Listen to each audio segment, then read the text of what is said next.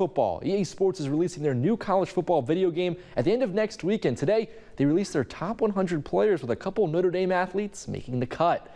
As the Irish placed four players in the game's top 100 ranked, with Howard Cross III ranked 77th and 90 overall, Mitchell Evans, one of the best tight ends at 74th and also 90 overall, Xavier Watts then in the top 30 at 28th a 92 overall rating. And then Benjamin Morrison, he's the highest rated Notre Dame player in the game at number 12 with a 94 overall, one of the best players in the entire game.